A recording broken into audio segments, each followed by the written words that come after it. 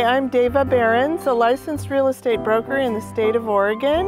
I'm with Coldwell Banker Valley Brokers, and we're at 3335 Northwest Gumwood Drive in Corvallis, Oregon. This beautiful home features a south exposure with great garden space in the front yard. We're elevated above the neighborhood, which gives us a really great sense of privacy and the inside of the home has been updated and is beautiful. When you first enter the home, you are struck by how light and bright and open the floor plan is. The living room flows to the dining room, that flows to the open family room, kitchen. The kitchen has a extra room that could be used as an office or a playroom there is tons of skylights in the kitchen family room. Just brings in all of the natural light that you could possibly want. You should note that the house has updated windows.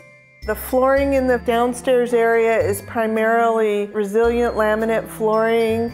There's a wood burning fireplace insert in the living room, a gas stove in the family room, and as you pass the kitchen, there is this awesome screened room that extends your living time outdoors well into the seasons. On the main level, there's a large laundry space with a utility sink. There's a half bath, perfect for guests. And there are two bedrooms, each with a full bath attached.